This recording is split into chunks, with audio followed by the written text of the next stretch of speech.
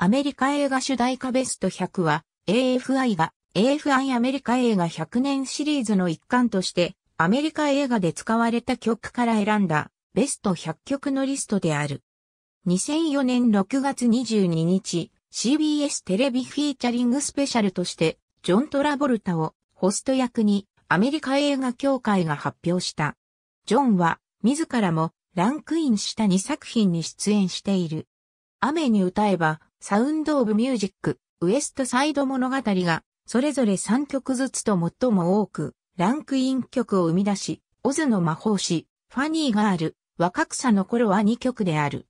スター誕生は1954年版と1976年版からそれぞれランクインした。最も多くランクインした人物はジュディ・ガーランド、ジーン・ケリー、マーニ・ニクソンでそれぞれ5曲、ついでバーブラ・ストライサンドとジュリー・アンドリュースが4曲ずつである。注 この表は AFI により作成されたものである。現在は America's Greatest Music in the Movies by American Film Institute。